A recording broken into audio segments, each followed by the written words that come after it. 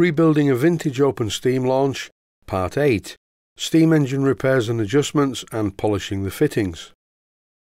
This steam engine does need some adjustment and it does need some repairs. And the first part of the engine to look at is the main steam inlet. Quite a lot of the steam, or in this case air, leaks out before it gets into the engine. So I'm having a look how it's put together. And there's a small brass fitting, two fibre washers, and a strange looking flange. So I'm going to remove the strange looking flange and I think I'll discard that and make another. As I undo these small bolts, and you will notice I'm not using a Bahco spanner for this, I'm using a small BA spanner, but they're coming out very very easily, far too easily as far as I'm concerned. And I really don't think these are the correct size bolts for the holes.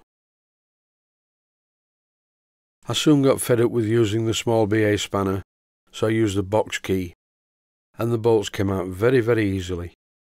It's a bit messy around this area, so as soon as I got the flange off, I got the craft knife to work and scraped off part of the old gasket and generally all the crud that was underneath the gasket. I scraped away with the craft knife for quite a while.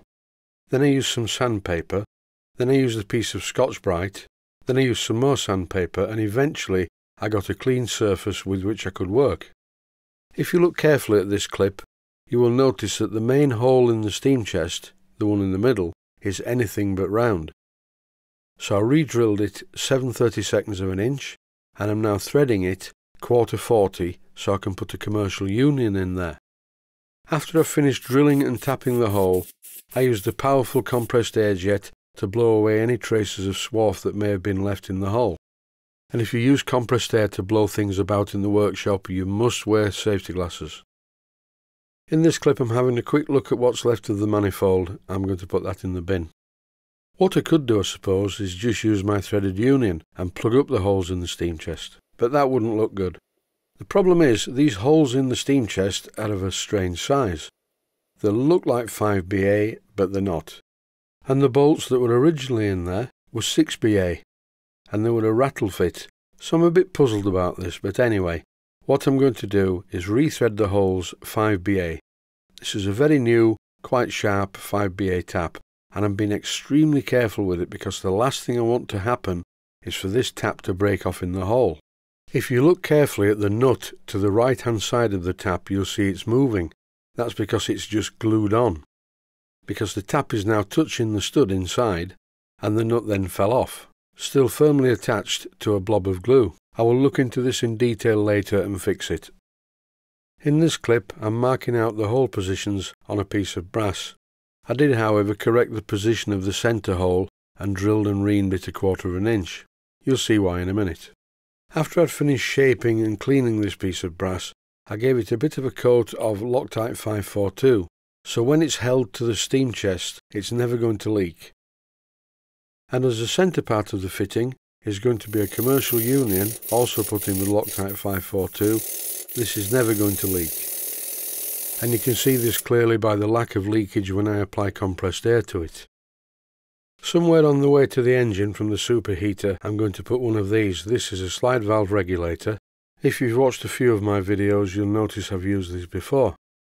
With this type of regulator it is very important to make sure you have an oil supply before the regulator that way the port face doesn't get scored. It's now time to clean up the steam fittings and I'm cleaning the pressure gauge with a piece of Brasso wadding as you can see here. I did not put the pressure gauge in the acid bath with all the other components. Here's the siphon from the pressure gauge and it's looking quite clean now. But I'm not going to go mad with all these fittings. I do not want them to look too shiny, just clean without any corrosion on them. A quick note that I've probably mentioned before, when you fit a pressure gauge siphon to a pressure gauge, always support the pressure gauge with a spanner and then use another spanner to tighten the nut. So here are all the clean parts, the boiler bands, followed by the pressure gauge and siphon, and all the other bits. And now back over to the engine. This is the exhaust side of things. And again, it's not very good, it leaks.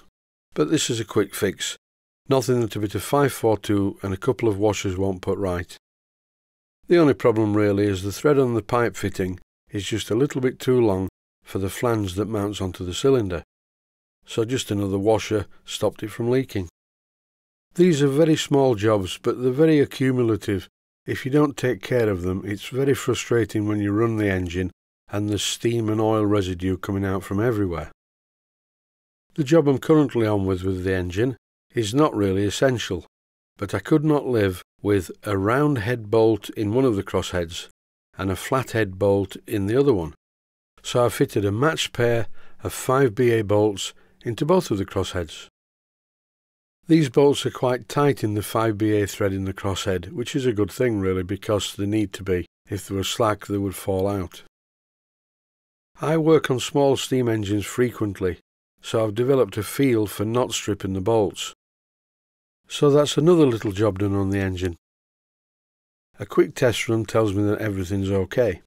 Time now, I think, to have a quick look at the bottom end of the engine. Yes, there's quite a lot of play in the crankshaft. I might have to do something about this later. But for the moment, I'm just going to leave it this way and get on with a lot of other work that needs to be done.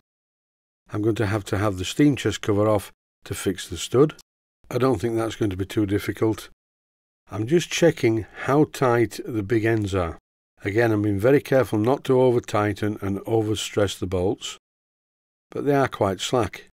And what I found was, when I tightened up the bolts, the engine stiffened up slightly, which means that the big ends are in tolerance.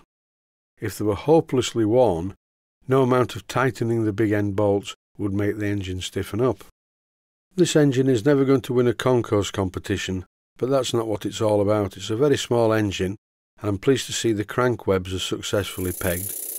I still don't like the wobbly flywheel, and I will be addressing that shortly, but that could be something to do with the amount of play in the front bearing. That's it for now, thanks for watching and I hope you found it useful.